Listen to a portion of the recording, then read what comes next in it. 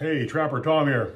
Uh, doing a video today on uh, some tips uh, th that I use uh, for uh, snaring. I have my, uh, my little snare bag here. maybe everybody has one, I'm not sure. But in mine, I keep my wolf and fox snares together. before they went in the bag though, I, I boiled them.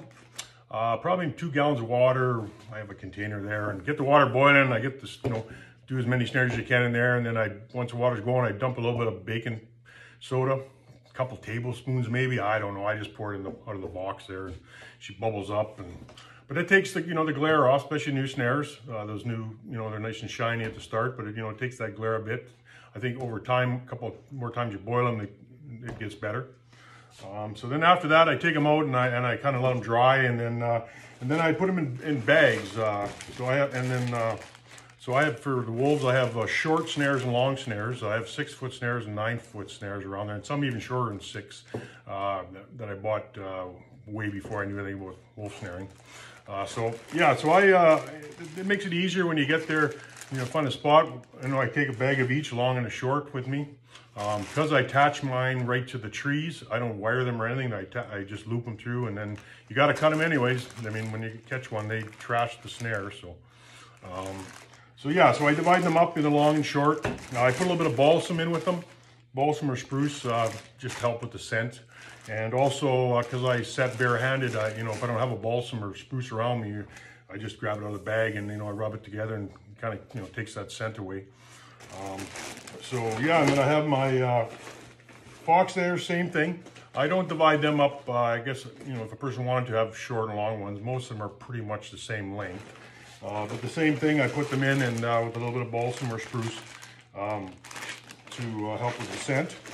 Um, one thing, uh, a little thing I, I, seen on a YouTube video, I don't know if people have seen these, but I call them like a wolf, or sorry, a snare extension for fox or, or lynx. I'd never use this for a wolf. I don't think it's big enough, but so yeah, it's just a long piece of wire and then you put one into the vise and a screwdriver and just twist it up. But yeah, it comes in handy. You can wrap it around the tree and then you still got that loop there to make, you know, you want to give that little bit extra there. So, um, like I say, they come in handy. Um, just, uh, you know, if you notice behind me, these two lynx here, I just caught those uh, last week uh, in a, uh, one of my snare pits I had baited and I had, you know, three, three snares coming into it and uh, I got a double header. So that was nice.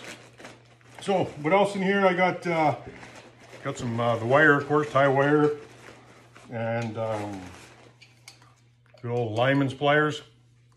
Um, these are awesome for cutting that heavy duty wolf snare wire when you have to cut it. Uh, and you know, twisting, they're uh, they're great.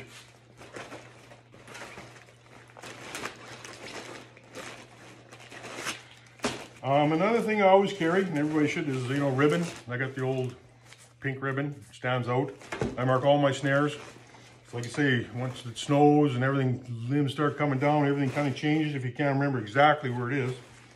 Um, it, uh, you know, I mark, I mark them, mark all my sets. Um, and another thing is my uh, saw. Man, this thing, every trapper should own a saw. Uh, so, you know, with an axe, I mean, an axe too, you always have to have an axe, but, uh, you know, if you need that, it just, you can cut it so much easier, safer. Um, and then, you know, if you're setting snares something, there's a branch brancher and you want to nip off, just watch for wolves. They might see that, but, uh, yeah, that thing is handy. Works well. And, um, yeah, so that's, uh, that's it. So I go, you know, I either take, if I'm going to, I take out half the snares if I'm going right in the bush with it and I got all these, you know, all my tools with me. Or if not, I just grab a bag of long and I grab shorts, uh, wolf snares.